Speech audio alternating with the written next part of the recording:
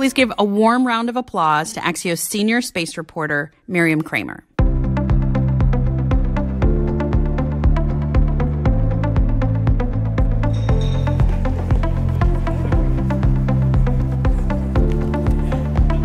Hi. Uh, our next guest is somebody who I have spoken with quite a few times over the years, and I am so excited today to talk to him about what's next in space and beyond. NASA Administrator Bill Nelson.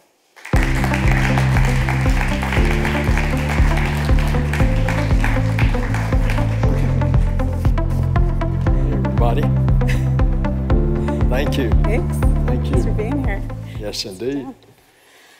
Ah, So, Bill, um, earlier today, Mark Kelly mentioned to us that he thinks we're going to see people on Mars in 20 years.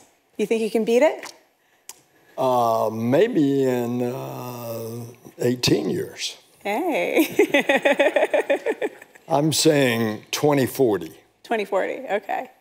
Uh, and obviously, a lot of that is dependent on the Artemis mission, uh, the Artemis program. And I, I feel like Monday, right, we're getting a big announcement about the first crewed Artemis program, um, the cr- first crewed Artemis mission, uh, and who's going to be flying on it. Can you give us any details? What can you tell us about that announcement Monday? That we're going to make the announcement You don't want to break some news, Bill? 10 o'clock uh, Houston time, Monday. okay. What do we know about the crew makeup right now?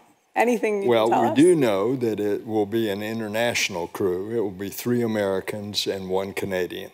Okay. What are you most looking forward to with that mission? It's not landing on the moon, right? We're going around the moon and coming back, but what, what are you going to be looking at? This is the testing of the human uh, support systems. We've already tested the rocket and the spacecraft. Uh, that was a 26 day mission uh, last November. And it passed all the tests. It was so good that uh, we added additional tests during the course of the flight. Um, and so now we're going to put a human crew on it, uh, check it out. It'll be the first time that we've been back to the moon in a half century. And then about a year after that, we go into lunar polar elliptical orbit. And of the four, two will then transfer into the SpaceX lander, uh, land, be a six day mission on the surface, and that will be the first woman and the next man that will walk on the moon. Yeah. So, Artemis 3, that lunar landing, what? I mean, is 2025 still looking good? Are you, are you saying like it's 2025 or bust at this point? you know, space is hard. And, and you also have to wait until you know that it's as safe as possible because you're living right on the edge Yeah. every time we uh, launch in a very unforgiving atmosphere uh, into a very hostile environment. Uh, so uh, I'm not so concerned with the time as we're not going to launch until it's right. Yeah. And that's what we did with this last one. Uh, it was supposed to go in August. We went through a couple of things. By the way, we went through two hurricanes Yeah. hitting directly on the Kennedy Mm-hmm. Space Center. One of them hit the rocket. Uh, as a matter of fact, it did. And uh, we launched when it was right. Uh, that's what we're going to do with, especially when you put a crew up on top. Yeah, absolutely. I mean, you mentioned SpaceX. Like, SpaceX is one of NASA's most important contractors. You guys are one of their most important customers. How is the relationship with SpaceX these days? Uh, it's been excellent. Yeah. Uh, who would have thunk years ago Boeing and SpaceX were competing for commercial crew to orbit? This was as a result of the legislation that uh, Kay Bailey Hutchison of Texas and I passed 13 years ago that said we're going in a different direction. It's going to involve commercial uh, partners Yeah. Instead of it being just U.S. government. And so, commercial crew, commercial cargo to the International Space Station, low Earth orbit. And who would have thunk? Uh, a competition between Boeing and SpaceX. SpaceX, uh, although they had had some success, they were basically a startup. Yep. And here now, SpaceX, uh, we just sent uh, a crew uh, number six up to the station. Uh, and uh, Boeing uh, has just had some problems. They will be successful. Yeah. And we'll get that going with crew so that we'll have a second vehicle in which to get to and from the space station. Yeah. So I want to talk about Elon Musk a little bit. Um, his comments have increasingly become, in many ways, politically polarizing. Like, I, I, think that generally folks look at Elon and say, like, okay, he used to be a pretty, like, straight ahead guy, and now he's sort of, like, being pretty partisan with what he says about uh, many different topics.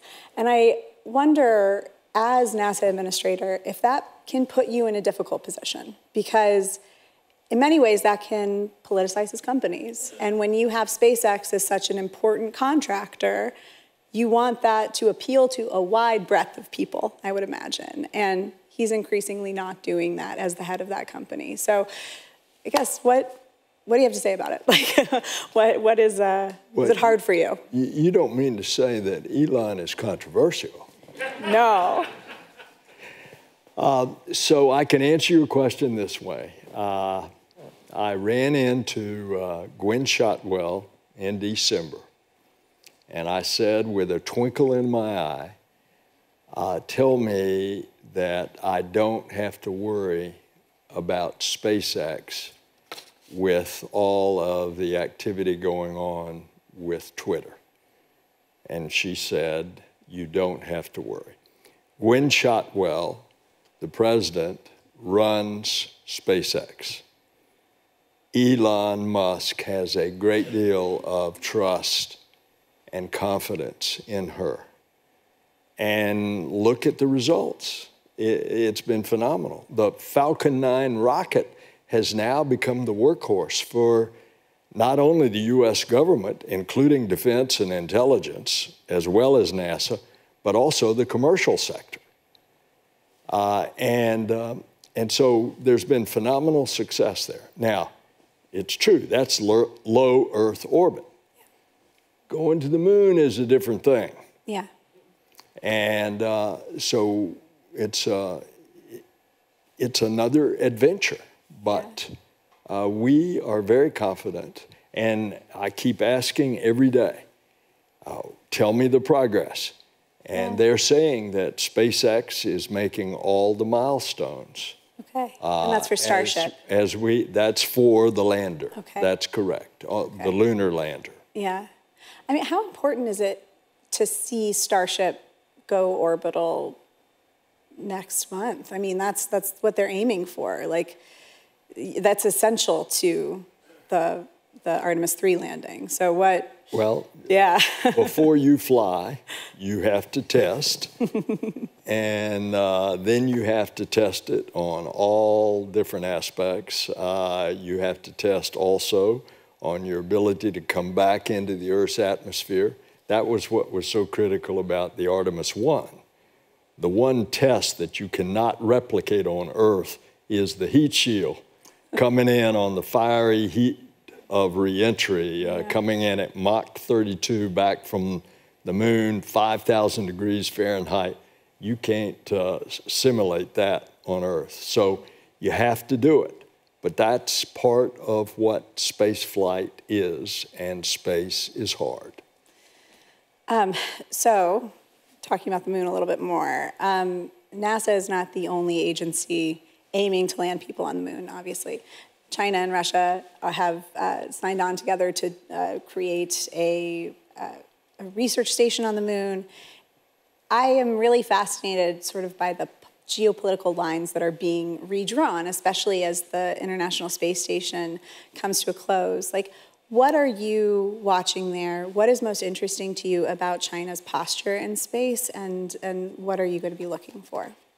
Well, first of all, look at Russia. Uh, here, uh, incredibly difficult situation politically with uh, Putin's uh, inexcusable, uh, just savaging of uh, the Ukrainian people and the Ukrainian land. Um, and yet, we've had that kind of tense relationship with going back to the Soviet Union.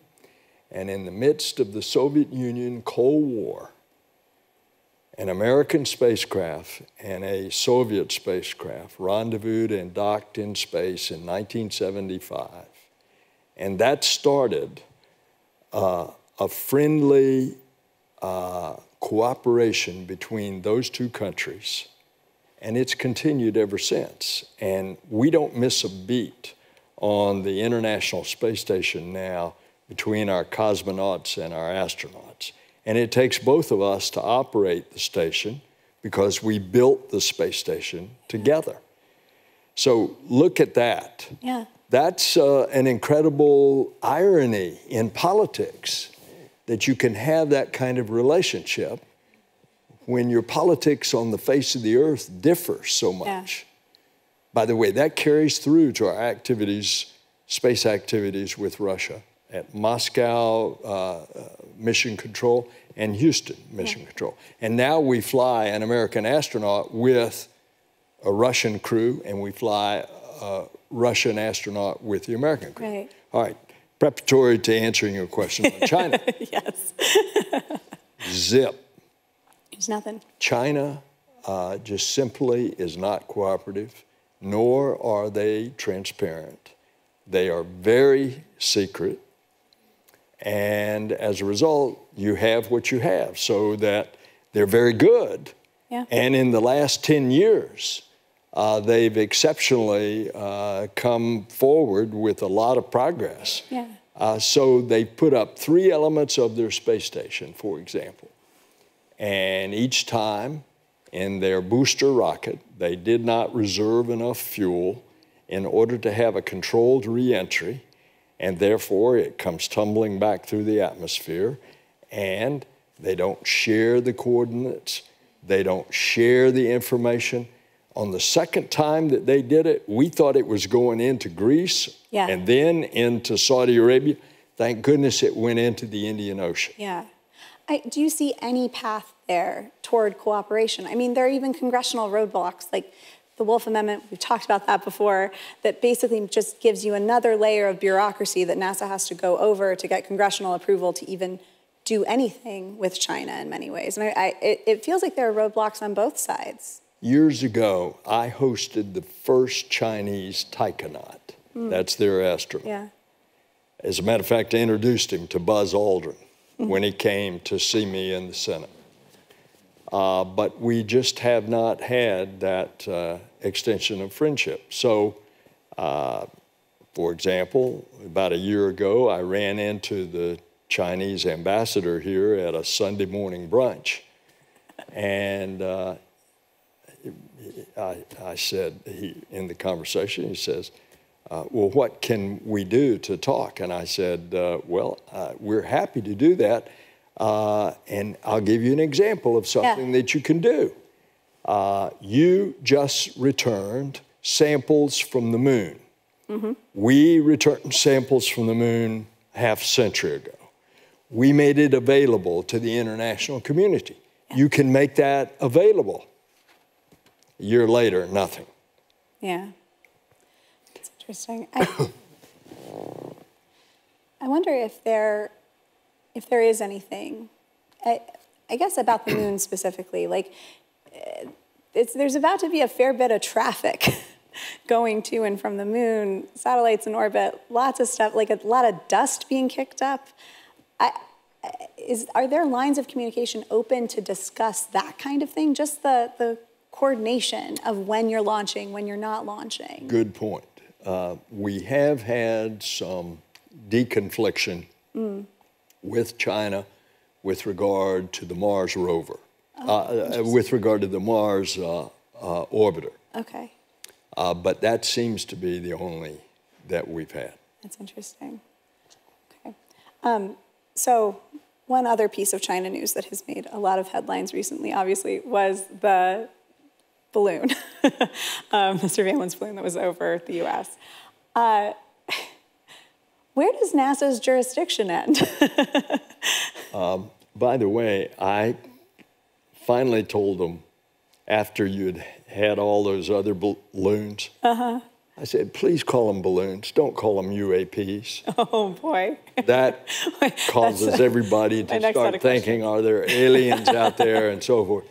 Uh, so I, I can tell you what's been reported in the press. Uh, General Milley, the chairman of the Joint Chiefs, called me and said, uh, We've got this uh, Chinese balloon that's about to come into our territory, and we need to know uh, from your balloon experts about debris patterns and what would happen when you shoot it down.